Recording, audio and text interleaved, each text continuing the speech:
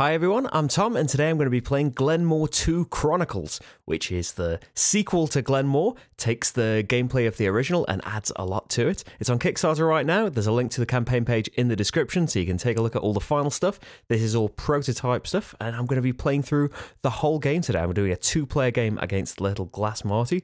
And this is all about us as Scottish clans trying to spread our territory, increase our wealth, and make whiskey and stuff. So here are the boards. If you are familiar with the original game, this one will be familiar to you, but the clan board is a new addition. If you don't know anything about Glen More, I'm going to be explaining everything as I go so you can follow along. And as always, I recommend that you turn on Klingon subtitles to be notified of any mistakes I might make. So these are our starting kingdoms. We just have a village and a castle each. I am playing with optional extras in this. There are chronicles, hence the name of the sequel, and these are mini expansions that you can mix and match and add into your game. I've got a couple in the prototype, but I am playing with Chronicle number one and in this chronicle, we are going to be having a boat race. So our boats start on our castles, and we are going to be racing them across these things to simulate other players. But we're going to be racing in a great big circle, and that will kick off in the B phase. But just to let you know why these are here, we'll be getting all sorts of benefits, and the people that uh, if I do the best, then I'll get 15 points and some whiskey that can be worth even more points later on in the game. The way it works is this is a time track, and all of the players are on it. This dice is used in a two player game to tighten things up. You can use it in a game with more players as well to have a shorter game, but you look at the person furthest back on the time track, and that means that it's their turn. So I am the first player, and on my turn, I need to take my marker and put it on one of these tiles. And I'm going to take that tile and add it to my kingdom. If you can't take it, you can't pay for it for whatever reason, you can't choose that one. But I am going to be taking something from here and adding it to my kingdom. And when it gets added, it's going to activate itself and a load of other things. So, what is available? I can go to any of these, by the way, as well. I can skip right ahead to the last one if it's something that I desperately want. But Marty here will have the chance to pick up all of the things that I skipped over if he wants to. Now, there is something to consider that you don't want to have the biggest area in the game. You do get penalized if you have tons of tiles at the end, but it's something that I could do. If I skip right to the end, Marty could pick up a few of them. So, to get started, I think we want some resource production. I think I'm going to go small here. I'm going to go for a little stone quarry. Just the first tile that's available here and this needs to go into my kingdom. So the rules are it needs to go orthogonally adjacent to an existing tile. So not diagonally, it needs to go right next to an existing tile. And it needs to go adjacent to one of your Scotsmen. Now, you only start off with one, and he starts off in the village here. And this can be diagonal. And really, for your very first tile, you can be kind of planning ahead. But uh, yeah, this this matters later on because when I place this now, this tile activates, and the icon in here shows what it's going to do when it activates. It's going to give me one stone. It also activates every tile around it, including diagonals. So here it's going to activate both of my starting tiles. Now these two tiles give you Scotsman movement, which is more important later on because you can only build adjacent to one of your Scotsmen. So you'll want to be moving them around so you get the best building options. But for now, I think I am going to use one of my movements. I've got two there because both have been activated. I'm going to use one of my movements to move him over there into my castle. Now, this is important because it keeps my building options open. I've still got all of these available spaces around. But at the end of each round, there are four rounds in the game A, B, C, D. At the end of each of them, we're going to be having scoring. You see the bar that's just underneath the tiles there. And we're going to be comparing the difference that we have between things. And it's between these landmarks, between how much whiskey we have, between how many Scotsmen we have on our original castle. So that's why I want him there as well. Because now I have one more than Marty. And it's all about having more than the other person, not having reached a certain number, just having a certain amount more than the other players. Oh, and the final element of scoring that I didn't mention is the is the person tiles, which is a new addition for Glen More 2, the person who has the most of them. And then the tile itself activates, so it produces a stone, and we place that stone on the tile. you can have a maximum of three resources on a tile. So on my turn, I moved forward to a tile, I grabbed the tile, I placed it in my territory, and then it activated itself and everything around it. So I got myself a stone and a Scotsman moved one space, and the other movement point was just wasted. So that's the end of my turn. We look at the time track again and see who is in last place. It's Marty. So he has the same choice now to decide what he wants to jump to. Now, we would like animals. See, we could get some sheep or some cows from the first tiles there.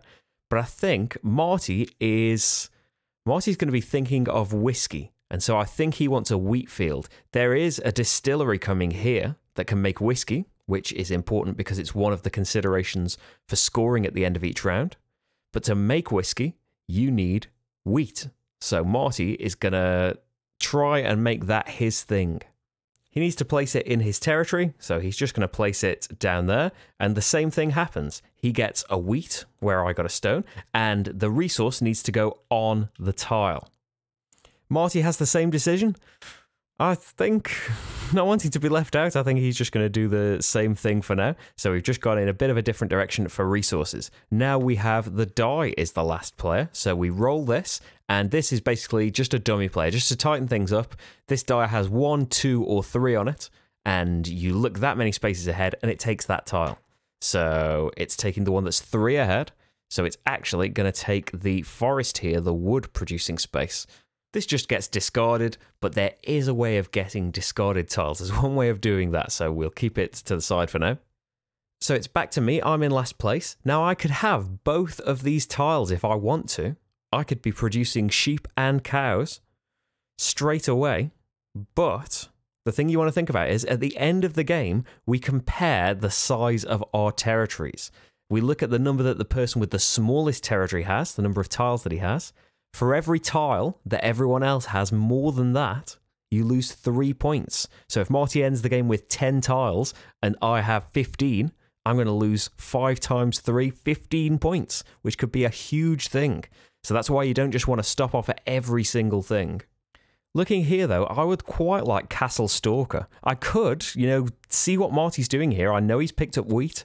I could be thinking he probably wants this distillery and I could stop him from taking that. But there will be more later on, so I might not be stopping him too much.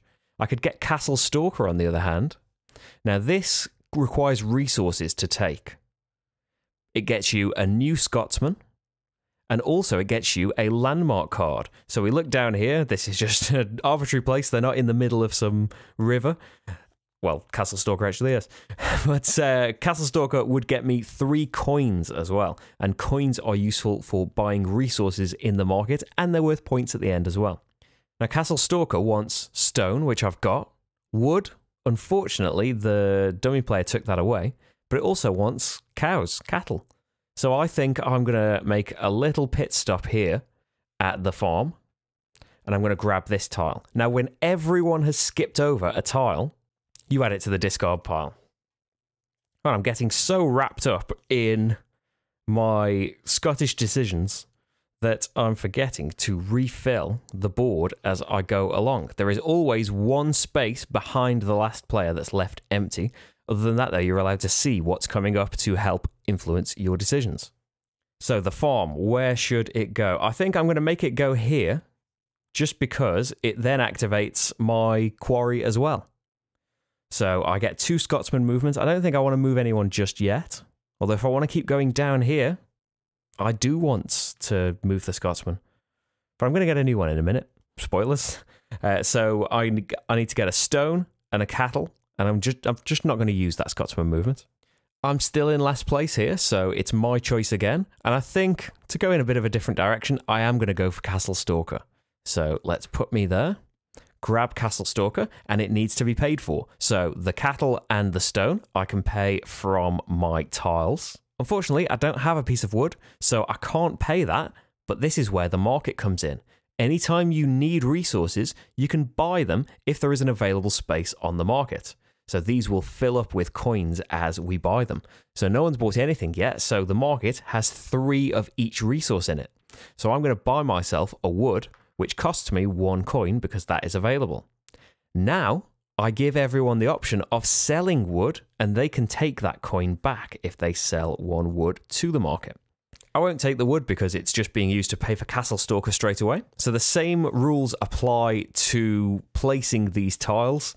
I have to put it somewhere around the Scotsman and adjacent to an existing tile. I can't put it on this row though. You see, this row has a river on it. It was a road in the original Glen More, but it's a river now. And only tiles with rivers can go in this row, and tiles with rivers must go in this row. So I think I think I'm going to put Castle Stalker there. I think the better thing to do actually would have been when I had movement last turn, I should have moved my Scotsman there, put Castle Stalker there, and used its movement to move the Scotsman back away. So they're a bit further apart, but I wasn't that clever. So I get a new Scotsman, that's what that symbol is, and then I take the landmark card for this landmark, which just gets me three coins straight away. So it cost me one coin and a couple of resources I already had, but I get three coins now. I keep the landmark tile because we need to know how many of those that I've got for the scoring. And then everything activates. So I have one, two movement, and I produce a cattle. Now I could move this Scotsman, you know, up here, and then I've got two in there because A is about to finish. It could get me an extra point doing that, but it will limit my tile placement for the future. So I think for now, I'm just gonna I'm just gonna move him there because then then it's right in the middle and it feels better that way, right? So we need to refill the display with a new tile.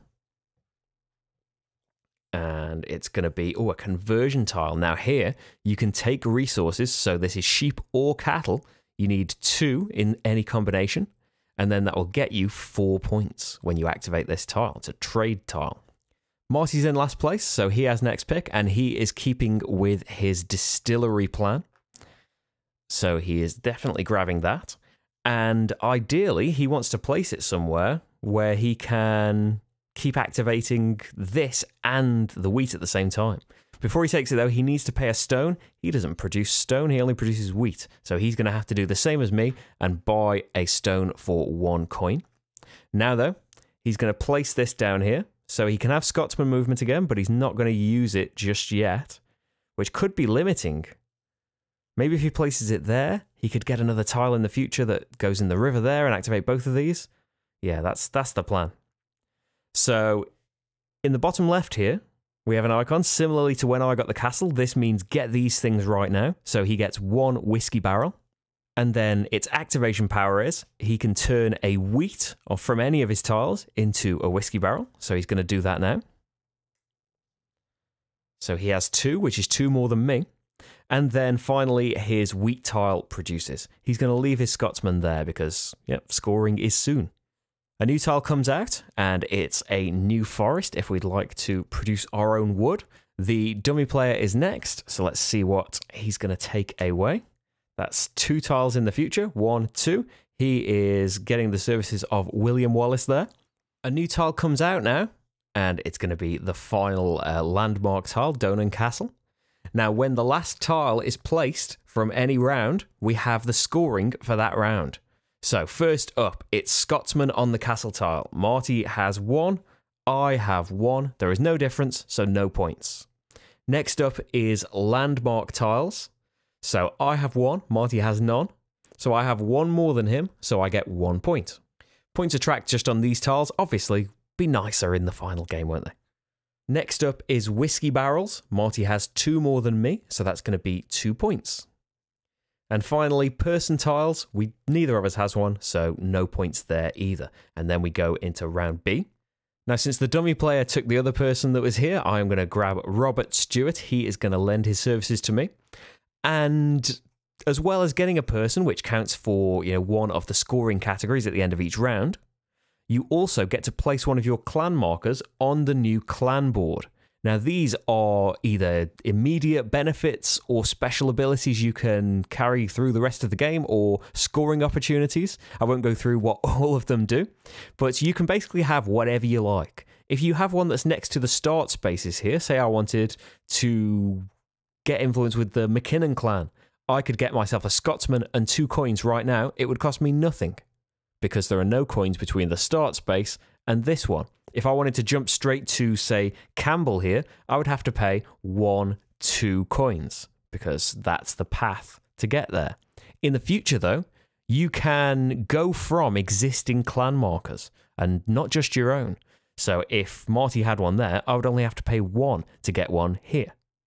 Now, one of these abilities here, Munro, is take a tile from the discard pile. It might be more useful later on, but I'm actually going to go for that one. I am going to grab, so it's going to cost me, we look down the path, no coins, one coin. It's going to cost me one coin to do that. Luckily, I've got loads, so that's fine. And I put my clan marker on to show that that's not available anymore. I am making things cheaper, though, for other people in the future. Now, these are the tiles available. I could have some wood, some sheep, or my choice is going to be William Wallace because now that's a second person. It's cost me a coin, but that is now two people I have more than Marty. And now I would like to go cheap and get some resources and things, but I'm going to go for an ability that I absolutely love. I'm going to pay a coin to go to Mackintosh from here, which, you know, before, if I'd gone to Mackintosh right away, it would have cost me two coins. Now, because I'm already there, it only cost me one coin to move further. Now, Mackintosh gives you the permanent ability that your castles are treated like Scotsmen. So I can build adjacent to my castles, whether there are Scotsmen there or not. Okay, it's Marty's turn again. So what are his options? He can get himself a village. That's some more movement possibilities, more Scotsmen. He could get himself a quarry, so he's producing stone. He could jump ahead and get Robert the Bruce, try and get in on the person's game. Because, yeah, he could take one of these and leave it open for me to just jump ahead and get a third person. And, you know, the it's just one point each for you know just just one, two, and three ahead. But as you get four and five ahead of someone, the points jump up. Now there isn't another person for a while, as far as we know. Oh, we we need a tile, don't we? The first B tile, it is a person, so he could get John Knox a little bit later. But I don't think he wants to risk me taking another one, so he's going to grab Robert the Bruce. He's actually going to go for McKinnon here, I think, and get himself a new Scotsman and two coins. The Scotsman can go anywhere. So maybe he should have more possibilities here, but I'm going to put him on the castle so that Marty can maybe store up some more points. The new tile comes out and it's Loch Shiel, which reminds me that we should have the new cards for the B phase. So we already know the A landmarks that are available. This is what the B landmarks can do. So you see you're getting more and more stuff. I'm in the back, so it's my turn. I now I've already got one more than Marty. I think though I, I'm not going to turn down the opportunity to get another village because I would like more Scotsmen, of course. And where am I going to put it? Now, putting it up here is nice, but it doesn't really activate any of this stuff down here. So I think I'm going to place it down here. So the Scotsman in this case needs to go on the village. And so we have stone and a cattle are the easiest first. Let's do those. And we have one movement from the village tile itself. I'm actually going to move this Scotsman to my castle for the scoring because I don't have to worry as much because for me, thanks to my special clan ability, this castle counts as a Scotsman and I can build adjacent to the castle. So I'm kind of covered from all areas, not there, but a lot of areas. The dummy player is going to take something away. It's going to be one, two. It's going to be this village. So Marty misses out. I'm not going to get another one. This was a river one, actually. It would have been quite nice. I'm at the back again. I don't want to stop off for another quarry, I don't think. We're going to skip over that. I could get Loch Lochy. It's another landmark tile for me, and it's two resources of my choice, and it doesn't cost me anything. Or do I jump ahead a little bit? Now, I don't have wheat, so that would cost me two... It would cost me one coin to grab this distillery, which can't be activated in the future, like Marty's can, but it would get me two whiskey right now and catch me right up. I. But on the other hand, I could get ahead on landmark cards. No, for, for now, yeah, I'm going to grab the distillery. I'm going to pay a coin. This gets discarded because it got skipped over, so we need to refill quite a few with the dummy player and the skips. So we have a couple of new people and another cattle farm, but we have the start tile. This isn't something anyone takes. As soon as one person goes past this start tile, the boat race begins, and we can go into that a little bit more. So that's how far it is in the future. Let's place my tile then. This one doesn't really matter for activation because it never needs to be activated again. So I could just put it up here. I could put it down here and make other things activate. But I think I think that's a good idea. Let's just have it have it up here where we don't really care that much about it. So I need to pay a wheat, which I've paid for with my coin, and I get two whiskey barrels. Marty's up next, and it would be silly for him to skip Loch Lochy. And so it gets placed on his river. He's going to put it in this direction, and that's to do with the boat race that we'll see in a bit. He gets the tile, which is two resources of his choice. Now, he already produces wheat, so I don't think he's going to take that. Maybe, you know, this this conversion building, this trade tile here wants sheep and cows. Maybe he wants some of those.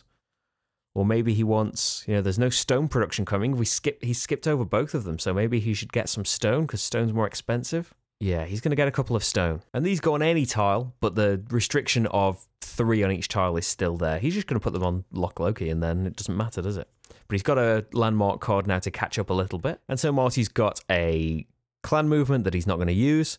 He produces a wheat, but he's going to use that wheat straight away to get another whiskey barrel. So he's got three now. The dummy player is next, and he's going to take the next tile away. So it's that trade tile. And a new tile comes out, which is a slightly improved version of that trade tile. Marty's up next. He could get himself a forest. He could skip right ahead if he wants, to start getting some more people. But Donan Castle there would get him another landmark, and it would let him put a clan marker out. If we look at the cost, though, he hasn't got wood, so that would cost him two coins. He's got stone, and he's got wheat. So does he want to spend two coins to have this castle? I think, for the purposes of being in front of me, he does. Unfortunately, though, he wouldn't be able to take the castle because he hasn't got a Scotsman here.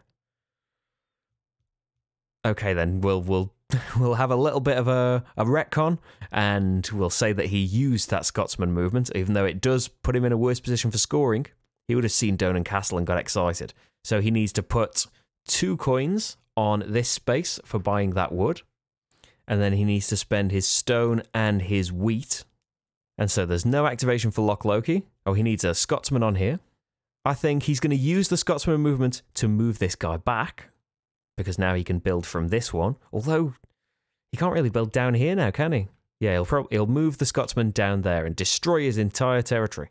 So he gets the tile for Donan Castle, which means he can put a clan marker out. I think he's going to go on Mackenzie up here, which is also free. Gets himself a wheat, and a whiskey barrel. He's going to be using that wheat now when he activates his distillery to turn that wheat straight into another whiskey barrel. He's three ahead of me now. I'm next up, and I think since wood is getting very expensive, it would be in my interest to pick up a forest.